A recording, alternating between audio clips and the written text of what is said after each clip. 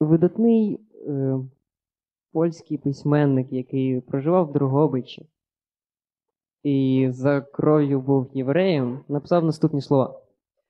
«Е, Задовго ми жили при терорі недосяжної досконалості Деміурга. Задовго досконалість його творіння паралізувала нашу власну творчість.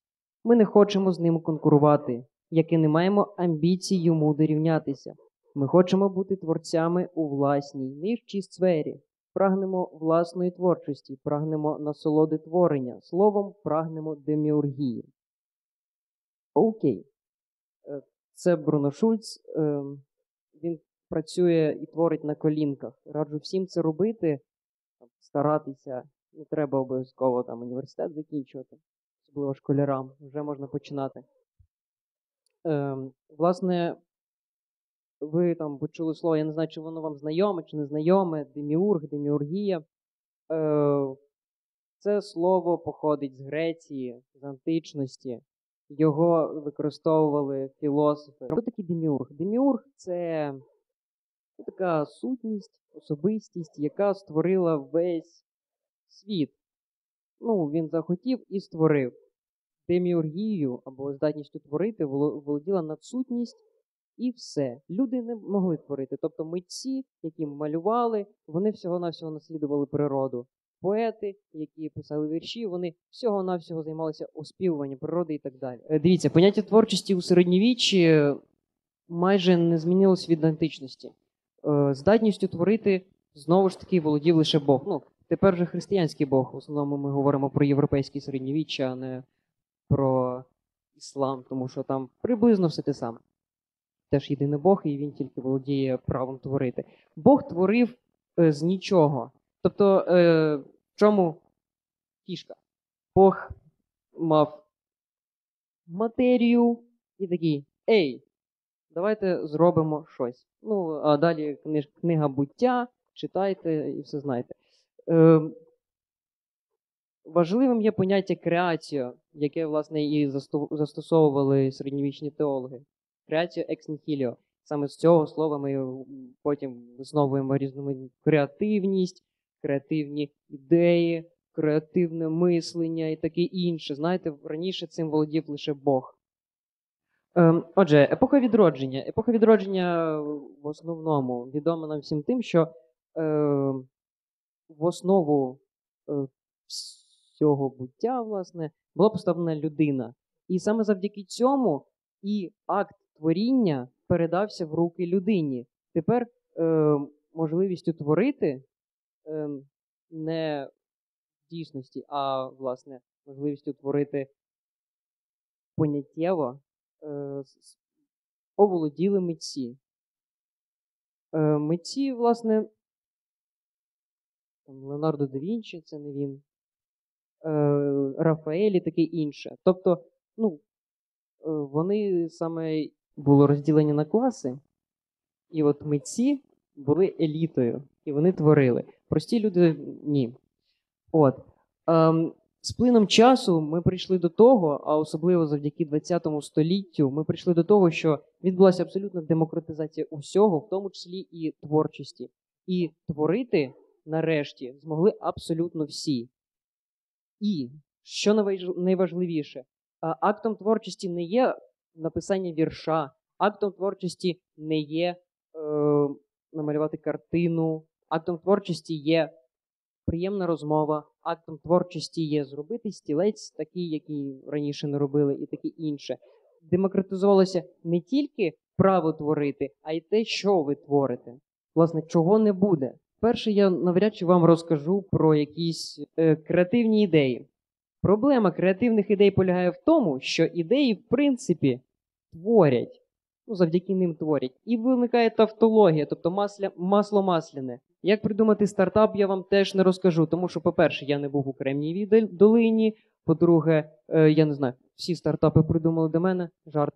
Е, насправді, просто мені здається, це трошки інша тема, тому що стартап це не про ідею, стартап це, власне, про певний процес величезний, приємний, або а може ні. І він стосується багато в чому бізнесу і так далі. Я тут не дуже. І про те, як красти як митець, вам теж не розкажу, тому що красти погано. Е, і тому що про це вже написали книжку, яку я особисто, дивлячись в камеру, кажу, не люблю. І вважаю, що вона трошки перевертає розуміння творчості. Але якщо вам подобається, будь ласка, це насправді демократія. Е, Основне і єдине правило, якому, якого, я думаю, слід дотримуватися при створенні ідей і взагалі при перебуванні, це те, що ми живемо в світі. Я думаю, я вам відкрив велику таємницю, але насправді, ну, це має певне пояснення. Навіть те, що тут знаходиться е, їжачок, е, той, що з туману, це теж дуже важливо. Але це таємниця за сімома замками, і я вам не поясню, чому він тут знаходиться. Можливо, потім. Е, Отже, перейдемо до того, що означає те, що ми живемо у світі. Е, Це означає, що навколо будинки, які виглядають жахливо, неприємно, пошарпано, і їх можна помалювати в різні кольори. Або на те, що там якісь е, під'їзди розвалені, можна їх поремонтувати, або можна просто піти в гості до людей і так далі. Це означає, що поряд люди і вони прагнуть, не знаю, добра, щастя. Вони прагнуть, щоб ви їм пояснили те, чого вони не розуміють. Вони прагнуть з вами поділитися якимись своїми ідеями і так далі. Це означає, що, наприклад, інтернет спричиняє повну е, демократизацію різного роду. Тобто, ну, ви можете намалювати комікс і раптом стати популярним. Ви можете зробити огляд вмісту власної сумочки, і е, митець, який докладав зусиль протягом 10 років і малював е, якусь картину, дуже буде незадоволений тим, що ви прекрасна 11-класниця, розказуєте про вміст вашої сумочки і отримаєте за це 2000 баксів за місяць. От. Ем, з цього всього ми приходимо до того, що нам треба зрозуміти, що таке ідеї. І от тут є визначення, що ідея це дієвий чинник створення раніше неіснуючих форм реальності. Я прочитав те, що написано на слайді. Дуже погано. Ем, що це означає? Це означає тільки те, що ем, якщо у вас є певна, певне занепокоєння, воно змушує вас щось робити. Якщо у вас є уявлення про те, що щось має бути не так, якщо у вас є уявлення про належне, це і є ідея. І недостатньо, далеко недостатньо просто щось придумати. Треба діяти. Таким чином, створення ідей є створенням світу. І саме тому ми повертаємося до того, що ми живемо в світі.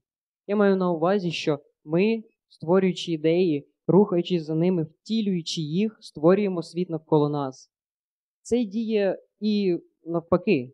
Тобто дійсність е, і ідеї, які існують вже, вони впливають на вас. Е, Шалено унікальний приклад.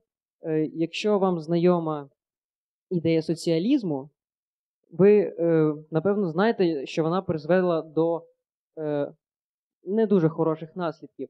Але ця ідея продовжує живити мізки людей, і в Америці зараз е, придумують Green New Deal, е, намагаються якось працювати з тим, що навколишнє середовище е, гине і таке інше. Тобто дійсність перетворюється на можливість завдяки іде- ідеям. Ну і навпаки. Оцей дядько Готфрід, Готфрід Ляйбніц, е, власне, він придумав теорію можливих світів, і вона полягає в тому, що в нашому фактичному світі реально те, що я зараз розказую лекцію. Е, В якомусь важливому світі реально, що я несу якусь діч. І це все залежить від того, е, як ми будемо це інтерпретувати. Дуже непогано це продемонстрував Ніл Гейман е, в оповіданні і заридаю як Олександр. Е, Він там розказував про дядька, який займається тим, що рознаходить винаходи. Йому е, жалілися на те, що, бачите, машини літають, і через них не видно неба. І дядько такий, так, треба рознайти літаючі машини. Тобто, один можливий світ він закреслив, і таким чином ми зараз з вами живемо в світі, в якому немає літаючих машин. Шкода, не знаю. Е, Важливо про типи продукування ідей. Я це дуже довго продумував, насправді дуже довго рухався в цьому напряму. Е, Перша ідея на прохання або спонуку, коли вам кажуть, друже, а ти можеш мені придумати назву мого альбому, який я записував? І що ти робиш? Ти збираєшся з думками і кажеш: ну, давай напівпорожня пляшка води. І чувак тобі каже, але ні, ну це альбом про особисте, він про те, як я там розстався з дівчиною і так, і так далі. І ми починаємо розуміти, що ви не можете, як боженька е, середньовічний, створити ідею з нічого. Якщо вас про щось прохають, то вам, очевидно, треба увійти у світ людини, яка вас про це просить. Якщо вам пропонують якусь співпрацю, то вам треба зрозуміти взагалі, на що вона спрямована і так далі. Е, з цим проблема творення ідей на прохання. От. І ну, самостійно ми, ми теж творимо ідеї. От, Наприклад, як Брюс Вейн, які, якому прийшло в голову, що треба боротися із злочинністю, і він знайшов такий суперкласний шлях, він е, вдів костюм і почав боротися. От. Ну, Насправді, мені здається, що е, щодо самовільного, це теж стосується того, що ми живемо в світі, коли ми виходимо на вулицю і нам щось неприємно або приємно і так далі. От, Але є проблема того, що е, бінаризм або чорне-біле, добро-зло це проблема. Тому ж, тому я впевнений, що існує третій тип взаємодії або там творення ідей. Але, друзі, я не знаю, як його назвати. Але він завжди посередині. Тобто, це там, самовільне творення на спонуку або щось таке. Можете придумати. Е, Тепер поради, які допоможуть. Насправді, я не впевнений, що вони допоможуть, але все ж таки. Е, Дивіться, фланерство це така штука. Бодлер таким займався. Він виходив на вулицю на вулицю Парижа і дивився, що відбувається. Він йшов по вулиці, він слухав, як говорять е, візники. Він е, підглядав, як люди випивають. Він сідав в кафе, пив каву і дивився, як люди проносяться туди-сюди. Він підслуховував, аналізував і думав е, про про різне. І, ну, Бодлер таким чином писав вірші. Насім Ніколас Талєб таким чином писав книжку Чорний лебідь, яка там потім розпродалася мільйонними тиражами. Тобто, ем, коли ви гуляєте, а чому я про це говорю? Тому що мені здається, що коли ви гуляєте, ви трошки сповільнюєтесь. Е, весь цей біг туди-сюди, там ми намагаємося заробити гроші, намагаємося відкрити свій бізнес і так далі. Іноді треба сповільнюватись і заспокоїтись. Е, і прогулянки цьому дуже допомагають. От. А далі ви аналізуєте, там, грієте. От. Е, після того, як ви набралися навколишнього світу різного роду е, думок, вам варто їх розділити з кимось. Е, Завдяки тому, що ви ділитеся, ви бачите, чи людина взагалі вважає це важливим, чи людина вважає це цікавим. Ви як обробляєте свою ідею. Ваша ідея е, стає якби спільною. І завдяки тому, завдяки цьому успільненню ця ідея е, стає живішою. А потім треба виспатись.